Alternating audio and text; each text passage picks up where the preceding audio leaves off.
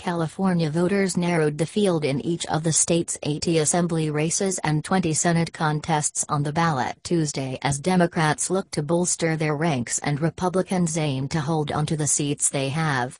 The legislative primaries set up high stakes matchups for the November runoff, when the outcome will determine how far Democrats and left leaning interest groups can push in their quest to put California on the vanguard of progressive economic, environmental and social policies. Democrats currently control 52 of 80 Assembly seats and 26 of 40 Senate seats. Adding two in the Assembly and one in the Senate would give Democrats enough votes to raise taxes without Republican support. Early results showed Republican incumbents holding strong in the most closely divided districts currently in GOP hands. For us, this particular year, the goal is for us to be able to hold onto the 28 seats that we've got, Assembly Minority Leader Chad Mayes, Valley, said after initial results came in. This evening, we're positioned in a great spot for us to be able to do that. While nothing is decided until November, Tuesday's results cull the field from hundreds of candidates to two per district, sometimes from the same party, and give an early indication of who has momentum as the general election begins. In California's top two primary, all voters get the same ballot and the top two finishers advance, regardless of party. After a respectable showing by the GOP in 2014, Republicans are now on the defensive, particularly in the swing districts of Orange County and the Inland Empire. The GOP is fighting to hold on to several seats picked up from Democrats two years ago, including those held by Assembly members Catherine Baker of Dublin, David Hadley of Torrance, Young Kim of Fullerton, Eric Linder of Corona and Marc Steinorth of Redlands.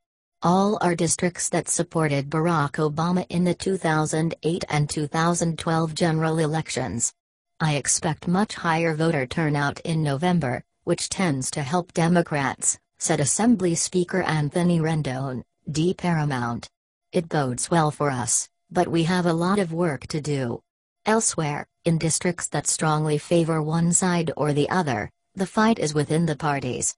Assemblywoman Patty Lopez, D. San Fernando, was in second place, good enough to continue until November, but far behind fellow Democrat Raul Bocanegra, who held the seat until defeated by Lopez in a surprise two years ago.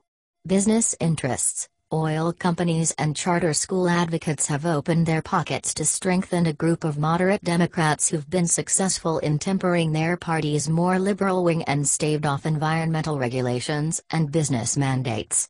Unions and environmental groups are fighting back with big spending of their own after seeing their most ambitious ideas stymied. Even though they both have a D next to their name, it doesn't mean they're going to be voting the same way, said Mark Keppler, a public affairs professor and director of the Maddy Institute at California State University, Fresno. Some of the most intense ideological battles are playing out in the Inland Empire and the San Francisco Bay Area. Assemblywoman Cheryl Brown, a moderate Democrat from San Bernardino, was leading attorney Eloise Gomez Reyes, who was challenging her from the left, and Republican Isa Chanel Sanchez.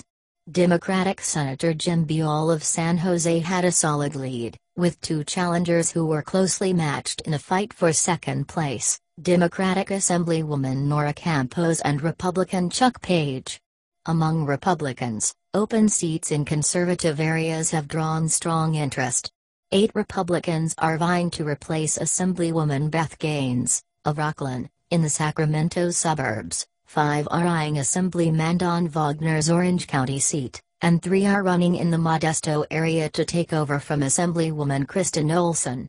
All three races have Democratic candidates who could slip into the top two if Republican voters are split. California voters narrowed the field in each of the state's 80 assembly races and 20 Senate contests on the ballot Tuesday as Democrats look to bolster their ranks and Republicans aim to hold onto the seats they have.